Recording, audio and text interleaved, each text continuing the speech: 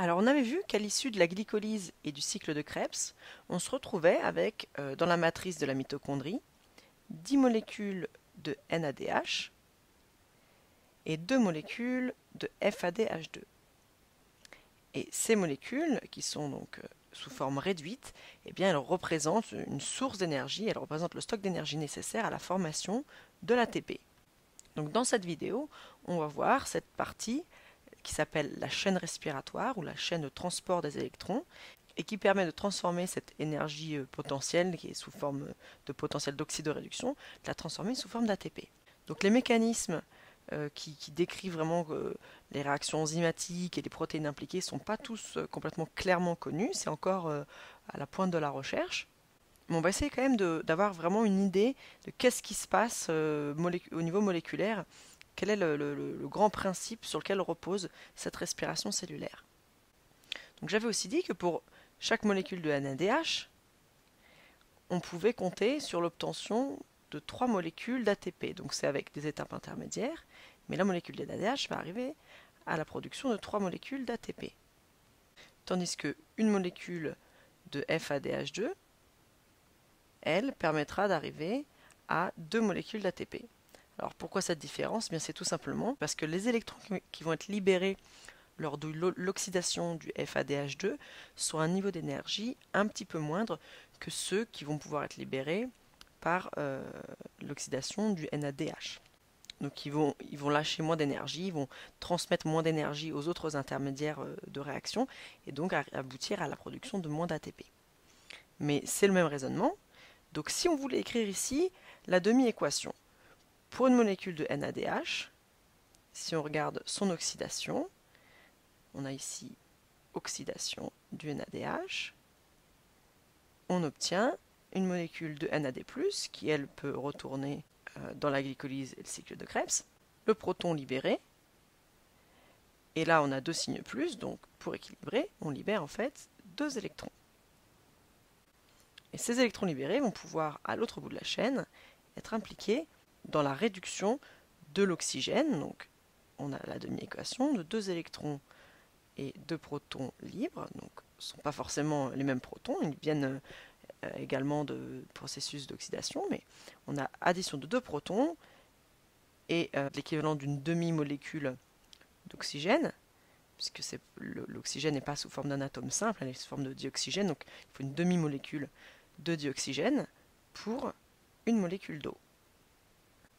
Et là, donc le, NADH a perdu un atome d'hydrogène, donc on dit qu'il est oxydé, et là, l'oxygène a gagné un atome d'hydrogène, en fait sous forme d'un proton. Donc on dit qu'il y a réduction ici de l'oxygène. L'oxygène a été réduit. Et ces électrons ici, ils sont en fait transportés par des molécules intermédiaires. Donc ils passent d'un niveau de haute énergie à un niveau de plus basse énergie en étant transférés sur une autre protéine. Je ne vais pas rentrer dans le détail, mais on a le coenzyme Q, euh, puis le cytochrome C, et on peut enfin arriver à cette partie de l'équation ici. Et chaque fois que les atomes euh, sont transportés sur une molécule intermédiaire, eh bien, ça libère de l'énergie. Et cette énergie qui est libérée à chaque fois, eh bien, elle va être utilisée par des protéines. Tout ça se passe au niveau de la mitochondrie. si je la dessine ici avec sa membrane externe et sa membrane interne, typiquement repliée avec les cristae, eh bien, c'est au niveau de cette membrane interne que se trouvent les protéines intermédiaires. Si je fais un grossissement ici, on va retrouver la membrane externe. Je la fais épaisse ici. Et la membrane interne, elle aussi maintenant en épaisseur. Et on a d'un côté, ici la matrice, et ici l'espace intermembranaire espace intermembranaire. Et ces protéines intermédiaires qui utilisent l'énergie libérée lors du transfert d'électrons, elles se trouvent ancrées dans cette membrane et elles vont utiliser l'énergie libérée par le transfert d'électrons pour faire passer des protons depuis la matrice vers l'espace intermembranaire. Donc on fait passer des protons ici contre leur gradient de concentration. Et du coup, on a création d'un gradient de protons. Donc ici, on arrive à un gradient de protons. Et c'est ce gradient de protons qui va pouvoir permettre l'obtention d'ATP. Je m'explique. Pour accumuler ces protons dans l'espace intermembranaire, on a dû utiliser de l'énergie. Et maintenant, ils vont avoir envie de repasser de l'autre côté, tout simplement par souci euh, d'osmolarité. Et donc il va y avoir pression pour que ces ions repassent de l'autre côté. Ils vont avoir envie de repasser de l'autre côté. Et ce faisant, eh bien, ils vont participer à la formation d'ATP. Il y a en effet également sur cette membrane, un peu plus loin, une protéine, un enzyme, qui s'appelle l'ATP synthase. L'ATP synthase, qui fonctionne comme une sorte de turbine qui est actionnée justement par ce gradient de protons. On a dans la membrane donc interne, ancrée dans cette membrane interne, la protéine ATP synthase qui est donc en plusieurs sous-unités. Il y a une partie qui est ancrée dans cette membrane, il y a une partie euh, interne, et il y a une sorte d'axe qui passe comme ça à travers ces deux sous-unités de la protéine, et qui est avec des petites formations euh, en relief. Et chaque fois qu'un atome d'hydrogène, à chaque fois qu'un proton va passer au travers de cette protéine, eh bien ça va actionner ce, cet axe qui va faire une rotation, et c'est la rotation de cet axe qui fournit l'énergie pour la formation de l'ATP.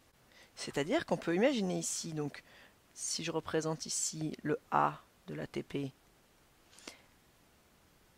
avec ces petits grossements phosphates, eh bien c'est de l'ADP qu'on a ici.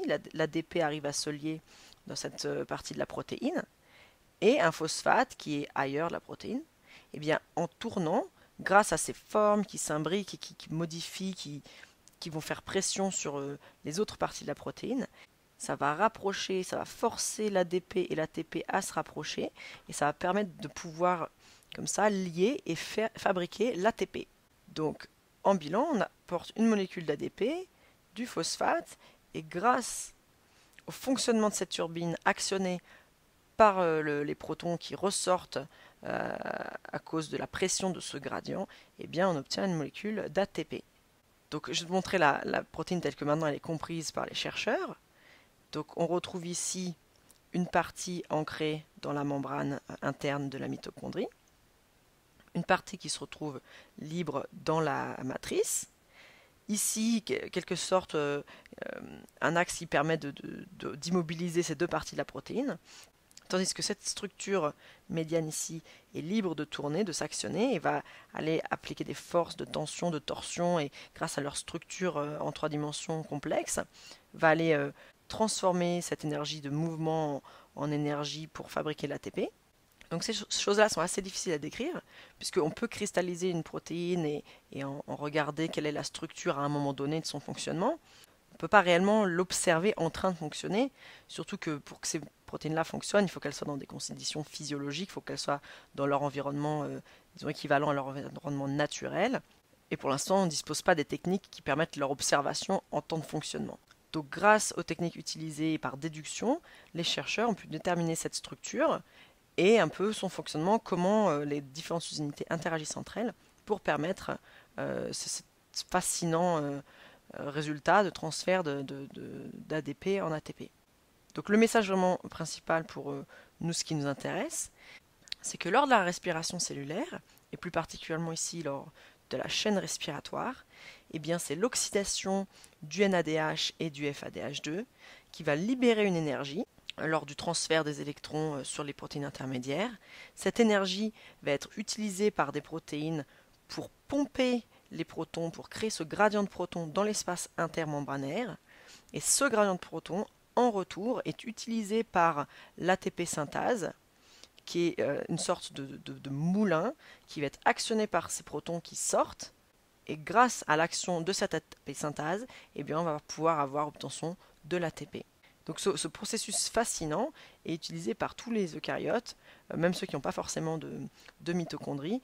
Euh, tous, les, organismes qui utilisent la respiration ont en commun cette ATP synthase.